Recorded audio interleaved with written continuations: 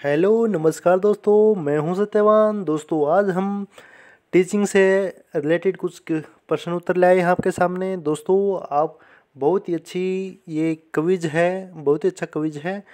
आपने इसमें एक प्रश्न से चार आंसर मिलेंगे। आप आपने सबसे पहले उसको गैस करना है कि आपका आंसर कौन सा हो सकता है। तो दोस्तों स्टार्ट करते हैं। स्टार्ट करने से पहले मैं आपको बोलूँगा, अगर आपको वीडियो अच्छी लगी तो दोस्तों लाइक करना और चैनल पर फ़र्स्ट टाइम हो तो सब्सक्राइब ज़रूर करना। इस, इसके अलावा हमारी और भी वीडियो इस चैनल पर है। देखिए स्टार्ट करते हैं फ़र्स्ट क्वेश्चन है। अच्छा अध्यापक वह है जो चार ऑप्शन है। आप, मैं पढ़ूँगा नहीं, मैं डायरेक्ट आंसर बताऊँगा, आपको टाइम दूँगा क्वेश्चन पढ़ने का। अच्छा अध्यापक वह है जो, जल्दी से गैस कीजिए। राइट आंसर है इसका ऑप्शन बी जो अपने विद्यार्थियों से सच्ची लगन रखता हो। नेक्स्ट है दोस्तों किंडरगार्टन स्कूल सबसे पहले किस देश में खोले गए थे? किंडरगार्टन स्कूल सबसे पहले किस देश में खोले गए थे? राइट आंसर दोस्तों ऑप्शन सी जर्मनी नेक्स्ट है, शिक्षा के क्षेत्र में सर्वाधिक महत्वपूर्ण तत्व अभिरुचि है, यह विचार किसका था? यह था दोस्तों option D T P Nunn. Next है अभिप्रेरणा एक है। अभिप्रेरणा क्या है? यह दोस्तों मनोवैज्ञानिक अवस्था है। ऑप्शन फोर क्यों? क्योंकि अभिप्रेरणा में व्यक्ति के मन को बदला जाता है, यानी कि मन के अंदर हलचल पैदा की जाती है। इसलिए यह मनोवैज्ञानिक अवस्था है। दोस्तों, अगर आपको ऐसा लग रहा है कि मैं जल्दी जल्दी क्वेश्चन करवा रहा हूँ तो आप इसे प्यूज करके भी लिख सकते हैं, देख सकते हैं। ये बहुत इम्पोर्टेंट क्वेश्चन आपके लिए। नेक्स्ट है, शिक्षा के माध्यम से कल्याण होता है। शिक्षा के माध्यम से किसका कल्याण होता है? सोचिए, बिल्कुल जी क्वेश्चन है। ऑप्शन है, समाज के सभी वर्गों का। नेक्स्ट है। बच्चों में स्व अनुपालन की भावना किस प्रकार पैदा की जा सकती है? बताइए, बच्चों में स्व अनुपालन की भावना किस प्रकार पैदा की जा सकती है? इसका राइट आंसर दोस्तों ऑप्शन बी उन्हें जिम्मेदार ज़िम्मेदारी सौंपकर नेक्स्ट है, एक अध्यापक के रूप में आप प्राथमिकता देंगे। आप किसको प्राथमिकता देंगे?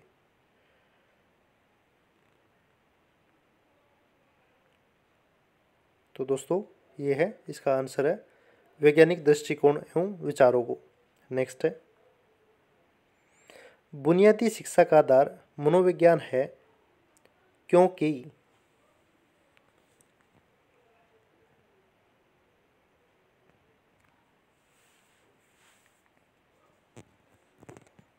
क्योंकि इसमें पाठ्य विषयों की अपेक्षा छात्रों की प्रधानता दी जाती है। शिक्षण क्या है? शिक्षण एक कौशल है। दोस्तों, शिक्षण कला भी है और कौशल भी। अगर ऑप्शन सी ये होता ए बी दोनों तो वो राइट होता। शिक्षण, कला और कौशल दोनों है। नेक्स्ट है। लेकिन अब आंसर आपको केवल कौशल देना है। सबसे बेस्ट कौन सा ऑप्शन तो अब है ऑप्शन ए कौशल। नेक्स्ट है। छात्रों के चरित्र निर्माण में सबसे अधिक महत्वपूर्ण भूमिका किसकी होती है?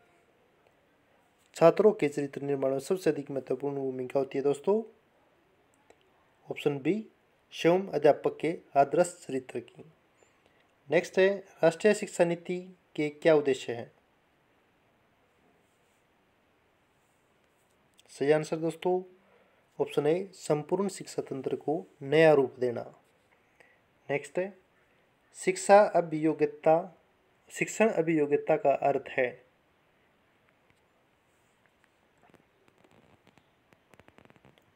ऑप्शन सी शिक्षक का कार्य करने हेतु अपेक्षित सभी योग्यताएँ।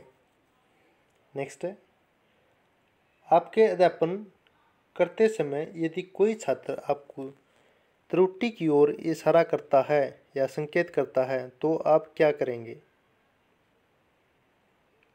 राइट आंसर दोस्तों, इसे ऑप्शन सी, स्वीकार कर लेंगे। नेक्स्ट है, शिक्षण की परियोजना पद्धति किस पर निर्भर करती है, किस पर केंद्रित होती है? ऑप्शन डी, बालक केंद्रित होती है। शिक्षण किस पर बालक केंद्रित। वही विधि अच्छी मानी जाती है जो बालक केंद्रित हो, अन्यथा नहीं। नेक्स्ट है।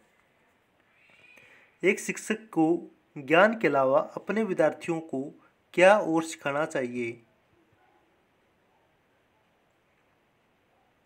राइट आंसर है ऑप्शन डी, सभी। लक्ष्य प्राप्ति के लिए अथक प्रयास करने चाहिए, विपरीत परिस्थितियों में स्वयं संतुलन नहीं खोना चाहिए और समय का सदुपयोग करना चाहिए। नेक्स्ट है। अध्यापक की, अध्यापक का वास्तविक कार्य क्या है? ऑप्शन सी, छात्रों की प्रतिभा का सर्वोन्मुखी विकास करना। बच्चों का सर्वांगीण विकास। नेक्स्ट है। बच्चों की शिक्षा में यह अधिक आवश्यक है कि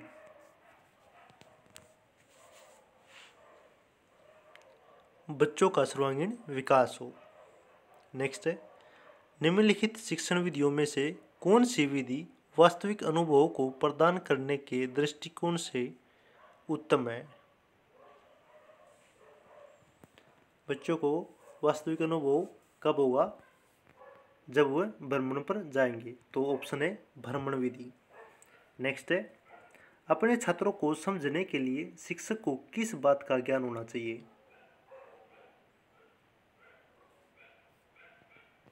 ऑप्शन डी बालक मनोविज्ञान। बालक कैसे सीखता है? बालकों की अभिरुचि और प्रवृत्तियाँ। नेक्स्ट है शिक्षकों को राष्ट्रीय भावना हेतु क्या कदम उठाना चाहिए?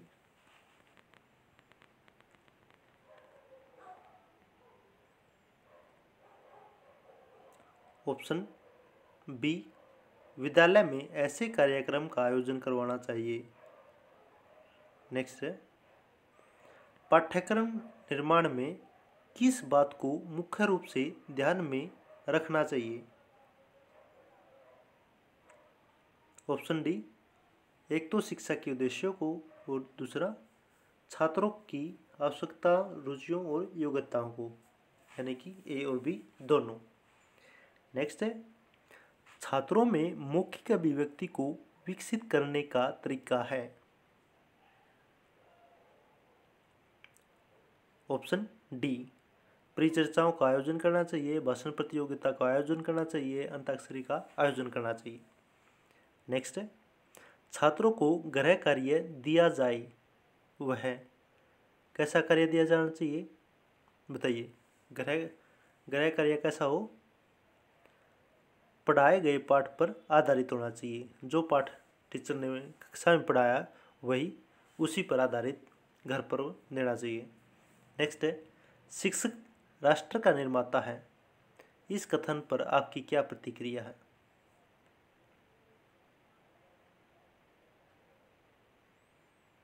Right answer option C. यह वास्तविकता है क्योंकि शिशु ही आगे चलकर राष्ट्र में सक्रिय भूमिका निभाते हैं। नेक्स्ट है, शिक्षण की सबसे कमज़ोर विधि कौन सी है? ऑप्शन डी पाठ्य पुस्तक विधि, जो केवल पाठ्य पाठ्य पुस्तक में ही सीमित रहे। नेक्स्ट है, विद्यालय में पर्यावरण शिक्षा से क्या अभिप्राय है? ऑप्शन बी, पर्यावरण को दूषित होने से बचाया जा सकता है। नेक्स्ट है दोस्तों, प्रौढ़ शिक्षा किन व्यक्तियों के अधिकारों में, अधिकार में होनी चाहिए?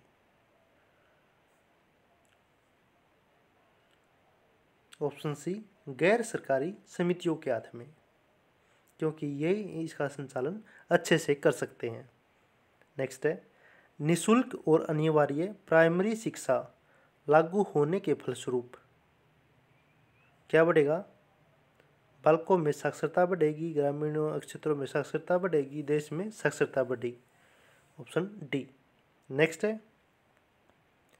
किस विधि से छात्र सबसे अधिक और अच्छी तरह सीखते हैं? स्वयं करके। Option B. नेक्स्ट है।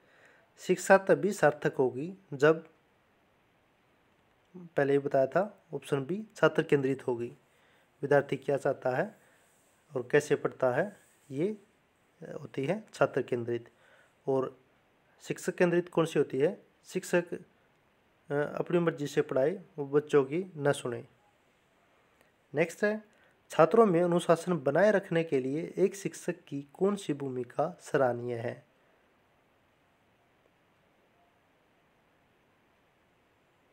शिक्षक की कक्षा प्रबंध की अक्षमता। दोस्तों, ये क्वेश्चन पहले पूछे भी गए जा चुके हैं और आगे पूछे जाने की संभावना भी है। तो दोस्तों, आप इन्हें सभी क्वेश्चनों को याद कीजिए या अपनी किसी बुक में या कॉपी में इसे इन्हें लिखिए। नेक्स्ट है छात्र जो लिखित कार्य करते हैं, उसे शिक्षक को कब जांचना चाहिए?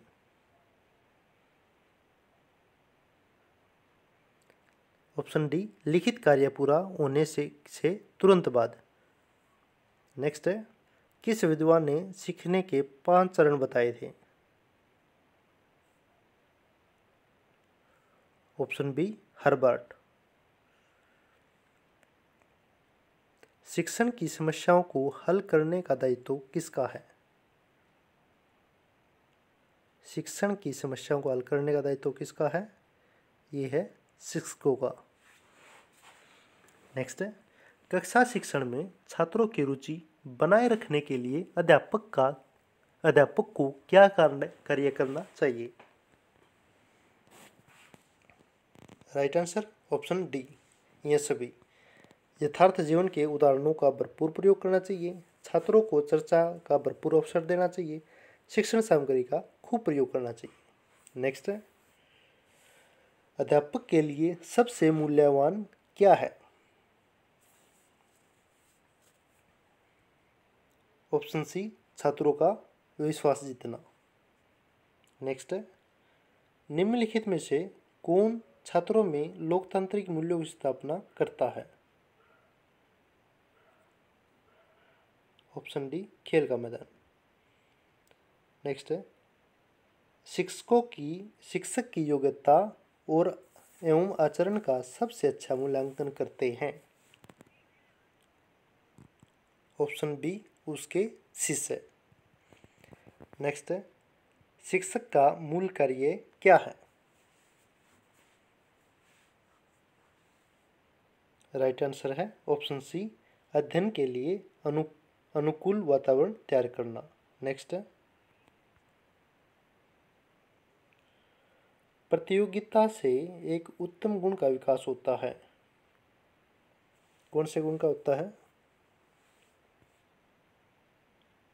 ऑप्शन डी, सभी का।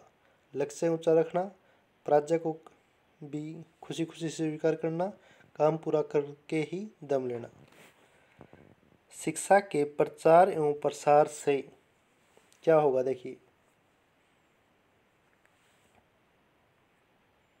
ऑप्शन डी, लोकतंत्र मज़बूत होता है, अंधविश्वास में कमी आती है, आर्थिक विकास की दर बढ़ती है। नेक्स्ट है आपके विचार में शिक्षा का उद्देश्य होना चाहिए। बालकों का सर्वांगीण विकास। नेक्स्ट है, किस छात्र को आप श्रेष्ठ मानते हैं?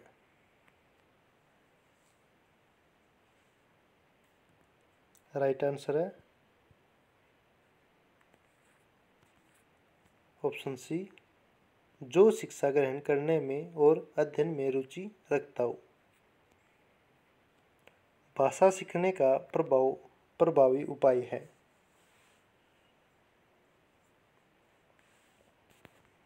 ऑप्शन डी, वार्तालाप करना। नेक्स्ट है, एक प्रधानाचार्य को होना चाहिए। कुशल प्रबंधक अध्यापकों के लिए समानता का भाव रखने वाला और छात्रों के लिए प्रेरणादायक। नेक्स्ट है छात्रों की प्रतिक्रिया नकारात्मक भी होती है और सकारात्मक भी। नकारात्मक प्रतिक्रिया का एक उदाहरण है।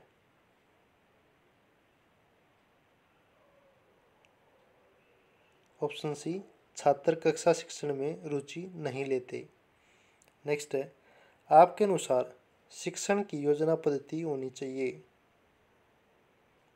ये क्वेश्चन पहले भी आया है, बाल केंद्रित। एक अध्यापक का श्रेष्ठतम गुण है।